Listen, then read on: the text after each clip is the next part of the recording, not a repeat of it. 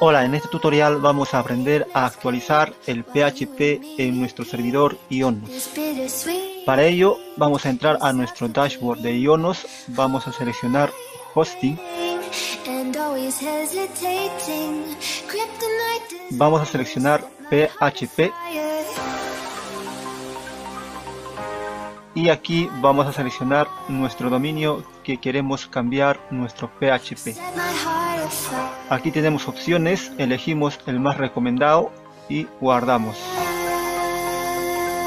Nos está preguntando si nuestra página está correctamente funcionando. Verificamos y una vez que hemos verificado le damos en Yes. Está correcto. Listo, ya nuestra página está actualizada. Eso sería todo, hasta la próxima.